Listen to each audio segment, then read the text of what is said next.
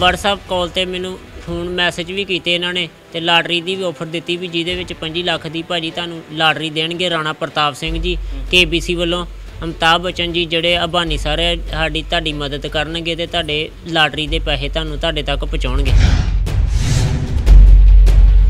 ਫਿਰ ਮੇਰੇ ਕੋਲ ਪੈਸਿਆਂ ਦੀ ਮੰਗ ਕੀਤੀ ਆ ਵੀ ਸਾਨੂੰ ਵੀ ਪੈਸੇ ਪਾਓ ਥੋੜੇ ਬਹੁਤੇ ਤੇ ਪੈਸੇ ਪਾਓਗੇ ਤੇ ਤੁਹਾਡੀ ਲਾਟਰੀ ਤੁਹਾਨੂੰ ਮਿਲੂਗੀ।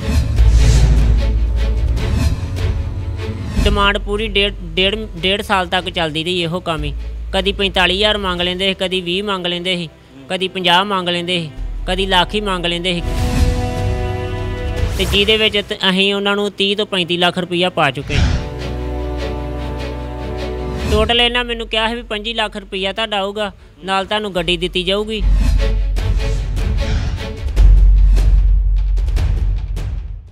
ਆਪਣੀ ਜ਼ਿੰਦਗੀ ਵਿੱਚ ਹਰ ਆਦਮੀ ਕਰੋੜਪਤੀ ਬਣਨਾ ਚਾਹੁੰਦਾ ਹੈ।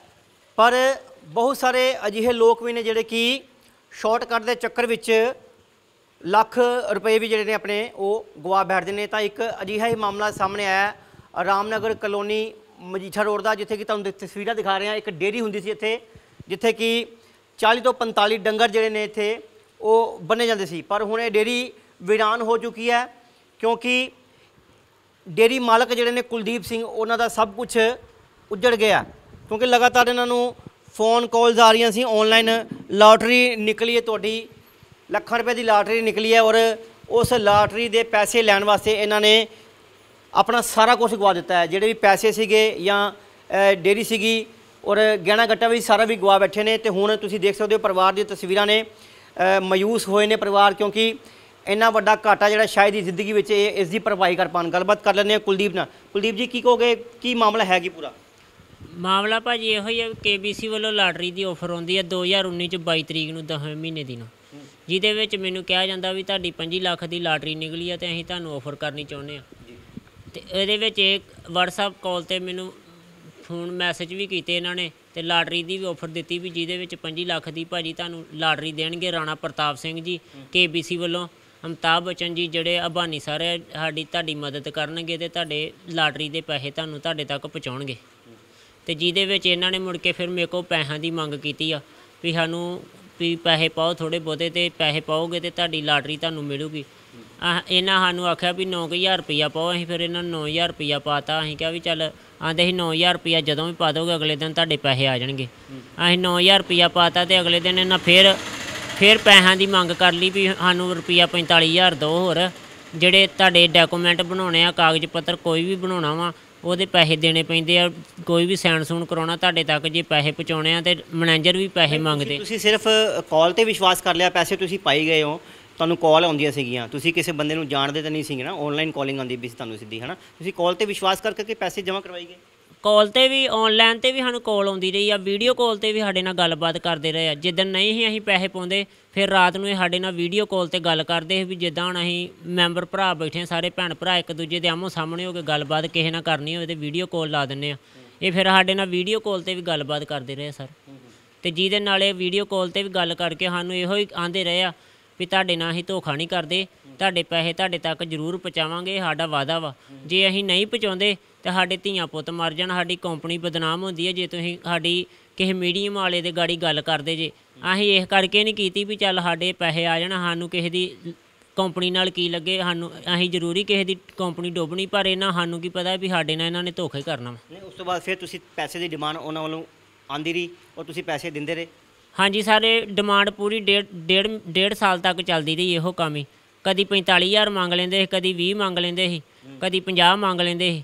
ਕਦੀ ਲੱਖ ਹੀ ਮੰਗ ਲੈਂਦੇ ਸੀ ਕਦੀ ਆਂਦੇ ਸੀ ਤੁਹਾਡੇ ਫਲਾਣੇ ਥਾਂ ਕਾਗਜ਼ ਬਣਨੇ ਆ ਤੇ ਉੱਥੇ ਤੁਹਾਨੂੰ ਪੈਸੇ ਦੇਣੇ ਪੈਣੇ ਆ ਤੇ ਤੁਹਾਡੇ ਸਾਈਨ ਹੋਣੇ ਆ। ਚੈੱਕ ਦੇ ਉੱਤੇ ਤੇ ਤੁਹਾਡੇ ਤੁਹਾਡੇ ਅਕਾਊਂਟ 'ਚ ਪੈਸੇ ਆਉਣਗੇ। ਇਸ ਕਰਕੇ ਅਸੀਂ ਇਹਨਾਂ ਨੂੰ ਇਹ ਪੈਸੇ ਪਾਉਂਦੇ ਰਹੇ ਆ ਡੇਢ ਡੇਢ ਦੋ ਸਾਲ ਤੱਕ। ਟੋਟਲ ਕਿੰਨੇ ਪੈਸੇ ਤੁਹਾਨੂੰ ਉਹਨਾਂ ਨੇ ਕਿਹਾ ਸੀ ਆਉਣਗੇ ਔਰ ਤੁਸੀਂ ਕਿੰਨੇ ਪੈਸੇ ਜਿਹੜੇ ਪਾ ਚੁੱਕੇ ਹੋ?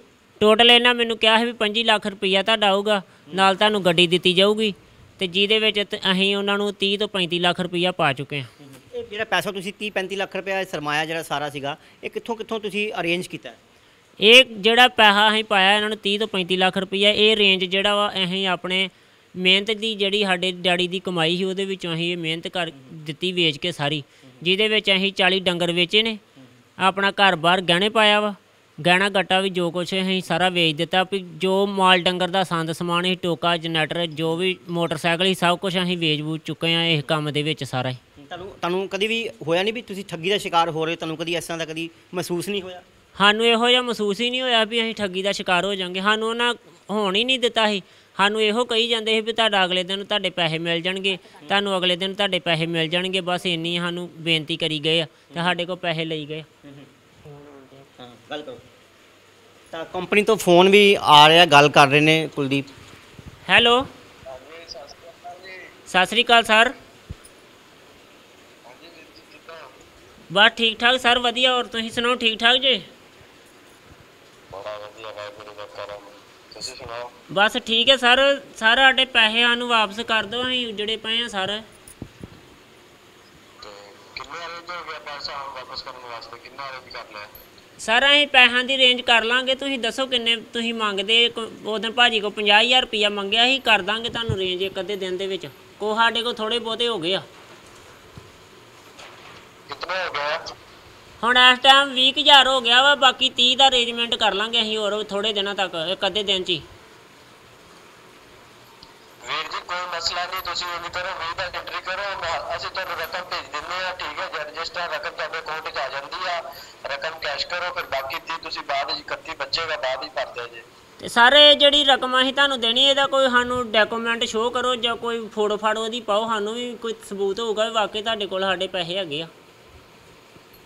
ਵੀਰ ਜੀ, ਗੱਲ ਇਹ ਆ ਕਿਉਂਕਿ ਕੰਪਿਊਟਰ ਸਿਸਟਮ ਅੱਜ ਕੱਲ ਠੀਕ ਹੈ ਤੇ ਅਸੀਂ ਕੋਈ ਹੱਥਾਂ ਨਾਲ ਆਪਣੇ ਕੋਲ ਹੀ ਬਣਾ ਕੇ ਤੁਹਾਨੂੰ ਕੋਈ ਪਹਿਲਾਂ ਨਹੀਂ ਭੇਜਣੀ ਹੈ ਠੀਕ ਹੈ ਨਾ? ਕੰਪਿਊਟਰ ਸਿਸਟਮ ਜਿਹੜੀ ਫਾਈਲ ਦੇਗਾ ਰੰਗੀਨ ਹੋਏਗੀ ਬਲੈਕ ਹੋਏਗੀ ਤੁਹਾਨੂੰ ਸੈਂਡ ਕਰਾਂਗੇ, ਠੀਕ ਹੈ ਤੇ ਇਹ ਪੈਸਾ ਤੁਸੀਂ ਜਮ੍ਹਾਂ ਕਰੋਗੇ, ਤੁਹਾਡਾ ਸਿਸਟਮ ਵਿੱਚ ਨੰਬਰ ਆਏਗਾ ਰਜਿਸਟ੍ਰੇਸ਼ਨ ਲੱਗੇਗਾ ਟੋਕਨ ਓਪਨ ਹੋਏਗਾ, ਉਸ ਤੋਂ ਬਾਅਦ ਫਾਈਲਾਂ ਨਿਕਲਦੀ ਹੈ ਕੰਪਿਊਟਰ ਤੋਂ। ਪਹਿਲੇ ਤਾਂ ਫਾਈਲ ਹੀ ਨਹੀਂ ਨਿਕਲਦੀ ਸੀ ਪਹਿਲੇ ਤੁਸੀਂ ਫਾਈਲ ਕੱਢ ਲਈਏ। ਤੁਸੀਂ ਰਜਿਸਟ੍ਰੇਸ਼ਨ ਤਾਂ ਕਰਵਾਓ ਆਪਣਾ ਪਹਿਲੇ। ਸਰ ਅਸੀਂ ਪਹਿਲਾਂ ਵੀ ਪੈਸੇ ਜਮ੍ਹਾਂ ਕਰਾ ਚੁੱਕੇ ਹਾਂ ਉਹਦੀ ਵੀ ਤੇ ਕੋਈ ਹ- ਤੁਹਾਡੇ ਕੋਲ ਫਾਈਲ ਫੂਲ ਹੈਗੀ ਆ ਉਹ ਉਹੋ ਹੀ ਪਾ ਦਿਓ ਸਾਨੂੰ। ਇਹ ਅੱਗੇ ਸਾਡੀ ਅੱਗੇ ਗੱਲ ਹੋਈ ਹੈ ਤੁਹਾਡੇ ਨਾਲ ਪਹਿਲੇ ਵੀ ਗੱਲ ਹੋਈ ਹੈ ਤੁਹਾਡੀ ਇਹ ਗੱਲ ਅਸੀਂ ਸਾਡੀ ਤੁਹਾਡੀ ਸੁਣੀ ਸੀ ਅਸੀਂ ਕਿ ਤੁਸੀਂ ਪਹਿਲੇ ਵੀ ਪੈਸੇ ਭਰੇ ਨੇ ਬਿਲਕੁਲ ਉਹ ਪੈਸੇ ਵੀ ਤੁਹਾਡੇ ਅਸੀਂ ਉਹਨਾਂ ਦੇ ਉੱਤੇ ਕੰਪਲੇਂਟ ਕੀਤੀ ਹੋਈ ਹੈ ਉਹ ਪੈਸੇ ਵੀ ਅਸੀਂ ਤੁਹਾਡੇ ਅਕਾਊਂਟ 'ਚ ਰਿਟਰਨ ਕਰਵਾਵਾਂਗੇ। ਲਾਟਰੀ ਤਾਂ ਪਹਿਲੇ ਆਨਲਾਈਨ ਕਰਵਾ ਲਓ ਪੈਸੇ ਦਾ ਪਾਸ ਕਰਵਾ ਲਓ ਪੈਸਾ ਪਾਸ ਨਹੀਂ ਕਰਵਾ ਰਹੇ ਤਾਂ ਫਿਰ ਤੁਹਾਡਾ ਕੰਮ ਨਹੀਂ ਹੋਏਗਾ। ਹਾਂਜੀ ਸਰ ਇੱਕ ਇੱਕ ਗੱਲ ਹੋ ਰਿਹਾ ਮੈਨੂੰ ਤੁਹਾਡਾ ਨਾ ਨਾਂ ਦਾ ਚੇਤਾ ਭੁੱਲ ਗਿਆ ਆਪਣਾ ਨਾਂ ਦੱਸਿਓ। ਮਿਸਟਰ ਰਾਣਾ ਪ੍ਰਤਾਪ ਸਿੰਘ। ਠੀਕ ਹੈ। ਤੇ ਇੱਕ ਇਹ ਵੀ ਮੈਨੂੰ ਦੱਸ ਦਿਓ ਵੀ ਤੁਹਾਨੂੰ ਮੈਨੂੰ ਤੇ ਚੇਤਾ ਭੁੱਲ ਗਿਆ ਸਾਰਾ ਕੁਝ ਤੇ ਬੋਲਦੇ ਕਿੱਥੋਂ ਜੇ ਤੁਸੀਂ? ਕਲਕੱਤਾ ਹੈਡ ਆਫਿਸ ਸੇ ਠੀਕ ਹੈ ਸਰ।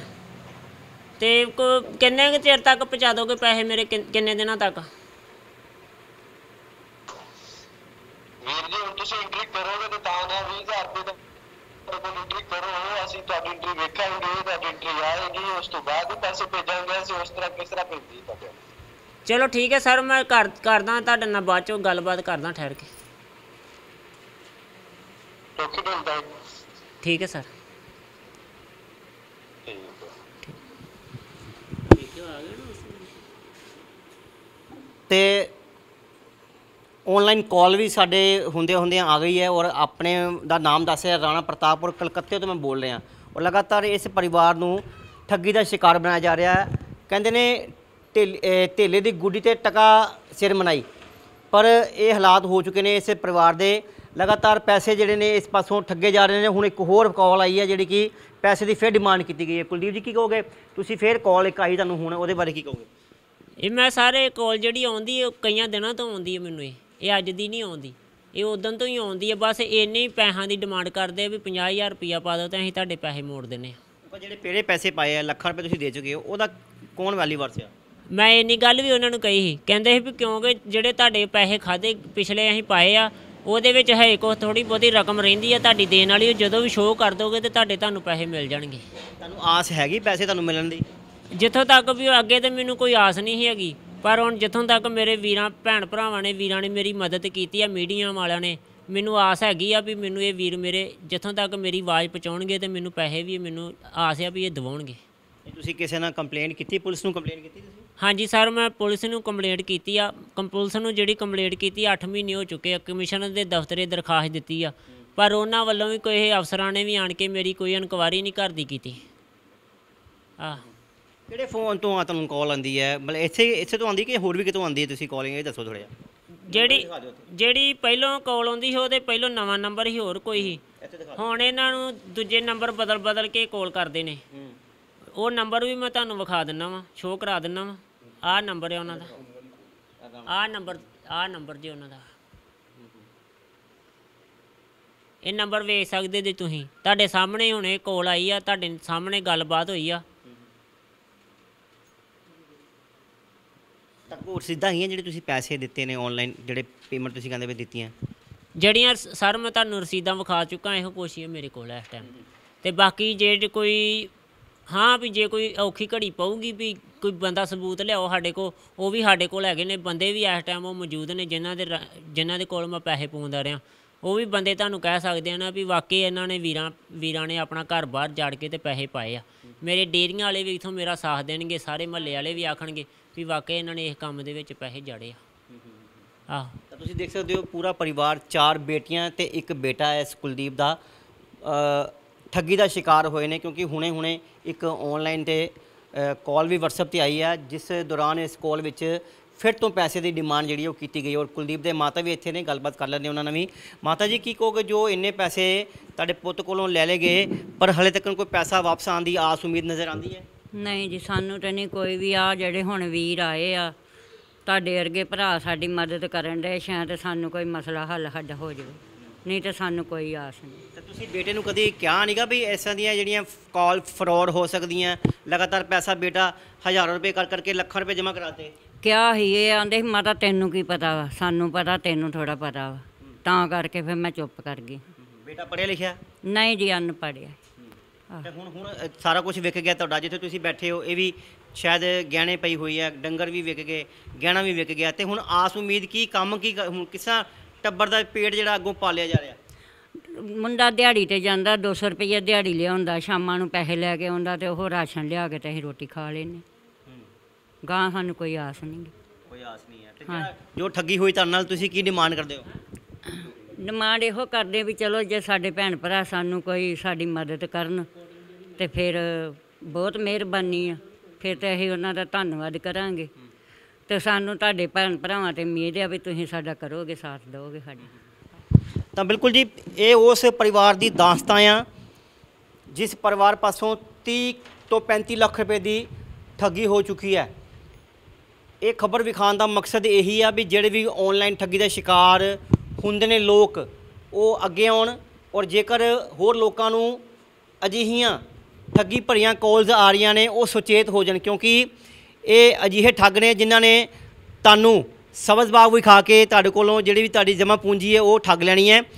ਕਿਉਂਕਿ ਕੁਲਦੀਪ ਦਾ ਪਰਿਵਾਰ, ਉਹ ਕੁਲਦੀਪ ਵੀ ਇਸੇ ਹੀ ਠੱਗੀ ਦਾ ਸ਼ਿਕਾਰ ਹੋਏ ਨੇ ਤੇ ਹੁਣ ਇਹਨਾਂ ਨੇ ਮੀਡੀਆ ਦਾ ਸਹਾਰਾ ਲਿਆ ਵਾ, ਅੱਗੇ ਆਏ ਨੇ ਔਰ ਆਪਣੀ ਗੱਲ ਜਿਹੜੀ ਉਹ ਰੱਖੀ ਹੈ ਔਰ ਇਹੀ ਆਖਰੇ ਨੇ ਵੀ ਪੁਲਿਸ ਜਿਹੜੀ ਉਹਨਾਂ ਦੀ ਮਦਦ ਕਰੇ ਕਿਉਂਕਿ ਕਮਿਸ਼ਨਰ ਪੁਲਿਸ ਦੇ ਵੀ ਪੇਸ਼ ਹੋਏ ਸੀਗੇ ਔਰ ਉਹਨਾਂ ਪਾਸੋਂ ਵੀ ਇਹਨਾਂ ਨੇ ਦਰਖਾਸਤ ਦਿੱਤੀ ਹੈ ਔਰ ਅਜਿਹੀਆਂ ਜਿਹੜੀਆਂ ਬੋਗਸ ਕੰਪਨੀਆਂ ਨੇ ਉਹਨਾਂ ਖਿਲਾਫ ਜਿਹੜੀ ਸਖਤ ਕਾਰਵਾਈ ਦੀ ਇਹਨਾਂ ਨੇ ਗੱਲ ਆਖੀ ਕਿਉਂਕਿ ਪਰਿਵਾਰ ਜਿਹੜਾ ਇੰਨਾ ਜ਼ਿਆਦਾ ਪੜ੍ਹਿਆ ਲਿਖਿਆ ਵੀ ਨਹੀਂ ਹੈ ਔਰ ਇਸੇ ਹੀ ਚੀਜ਼ ਦਾ ਜਿਹੜਾ ਫਾਇਦਾ ਜਿਹੜਾ ਇਹ ਆਨਲਾਈਨ ਚੱਕਿਆ ਗਿਆ ਔਰ ਇਹਨਾਂ ਪਾਸੋਂ ਵੱਡੀ ਠੱਗੀ ਜਿਹੜੀ ਉਹ ਕੀਤੀ ਗਈ ਹੈ।